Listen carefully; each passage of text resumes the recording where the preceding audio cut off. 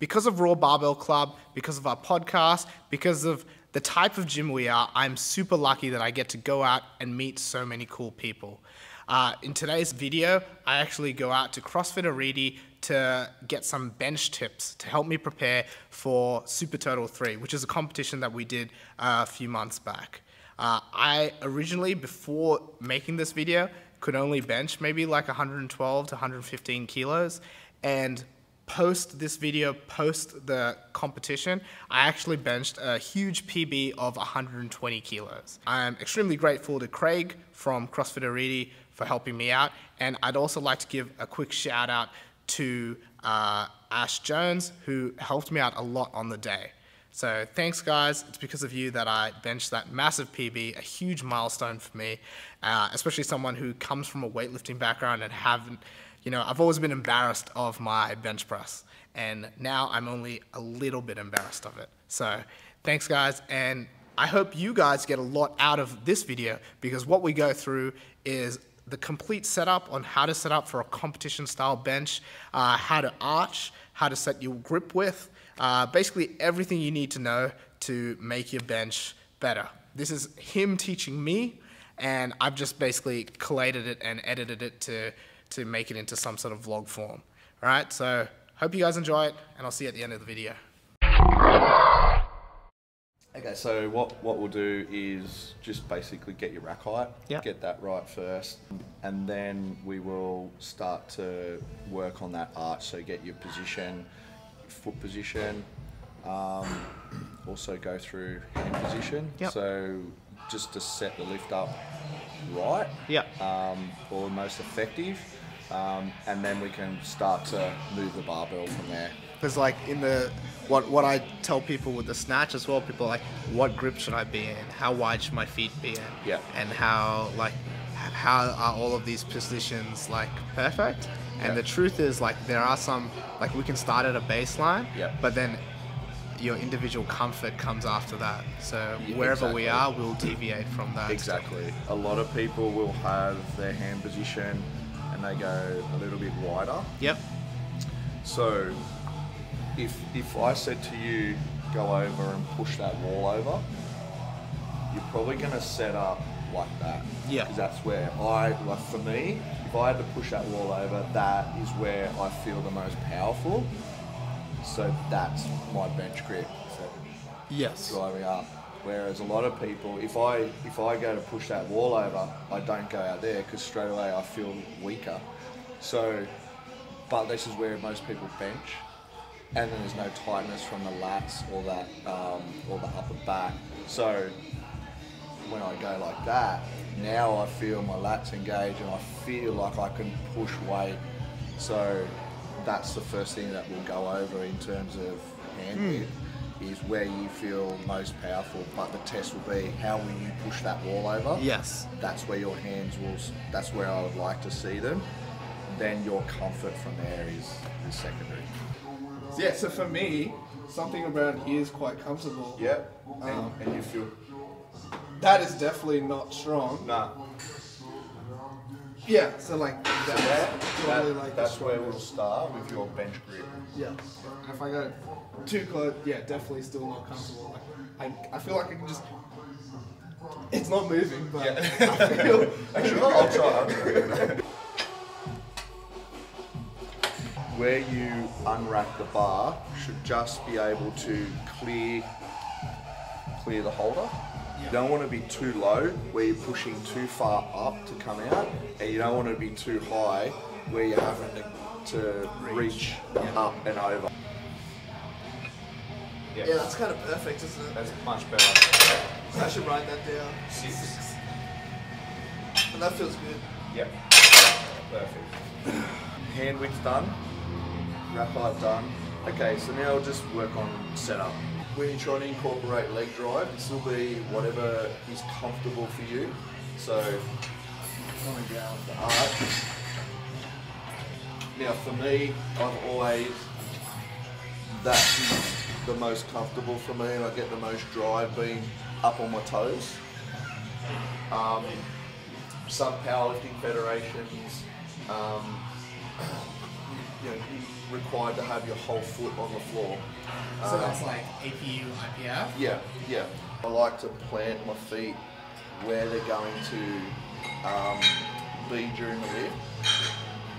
Then I go from here to create the arch. Yep. And what I'm going to try and do is keep my feet on the floor, but I want to dig my glutes into the into the bench, and then dig my shoulders into the bench to create that arch. And and for those that like for me, the big thing that I learned was if you start with your feet, then they don't kind of move as much. That's and You right. start behind, and then you just like come down and Yep. you wind yourself up. You like a spring. 100% spring, that's the word. So then when you're driving off the chest, it is your whole body acts as a spring force going up. The arch is, you don't want it to be causing you pain, but you want it to be sufficient enough to be effective for the lift. Yeah. So um, you don't want to get up and having that back pain and so, you know, whatever you get to is what you get to. Yeah, it's comfortable. It's not Yeah. excessive. Yeah, yeah. You want to get up off the bench and feel that release, not pain. Yeah, I know exactly what you're talking Yeah. about, and I think that comes from people arching through like one segment of their spine, so like a vertebra and vertebra thing. Yeah. Um, they're not having like an overall uh, like long arch to them, right? That's right. So it's like a hollow hold. Yeah. You know, yeah. you don't want to just pinch up or fold. You're arching. It's an arch. Yeah. Is like the arc of a, of a bridge. Yeah, which is strong. Yes, which is strong.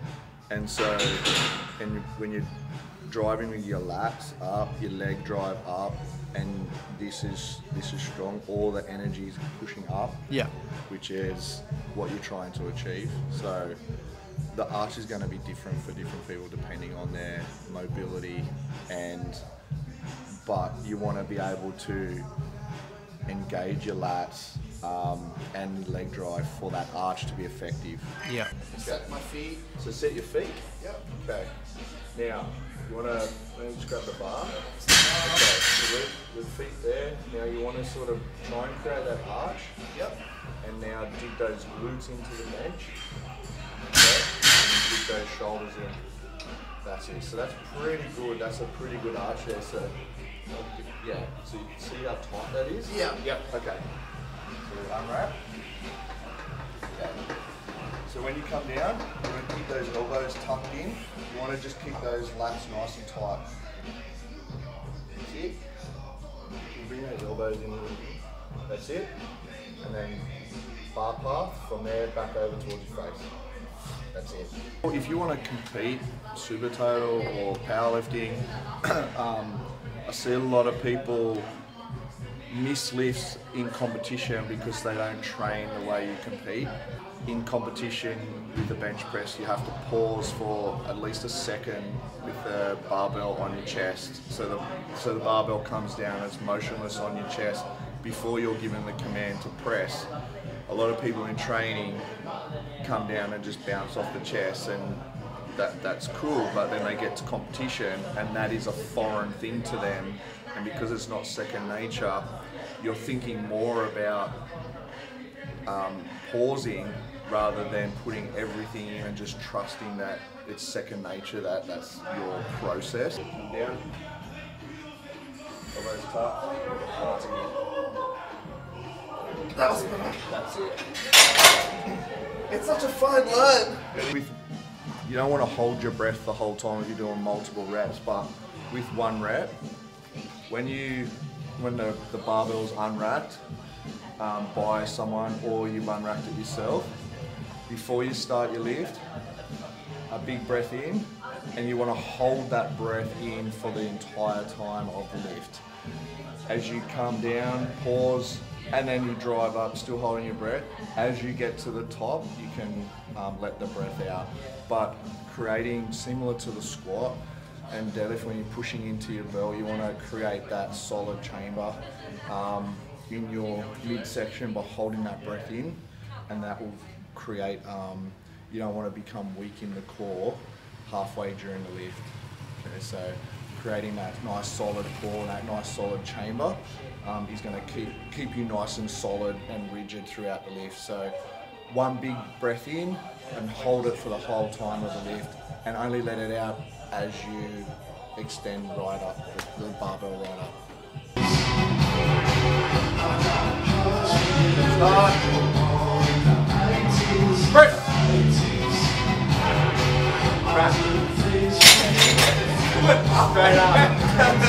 Hope you found that very useful. Uh, remember, start with your feet, screw them in, dig your glutes into the bench, then use that to wind up your arch. Remember, we're not segmenting through individual pieces of our vertebrae. We've got a nice, round, stable arch, and we're choosing a grip width that is strongest for our pressing. Right? Remember to pause, get that deep breath in, and you should be right to go.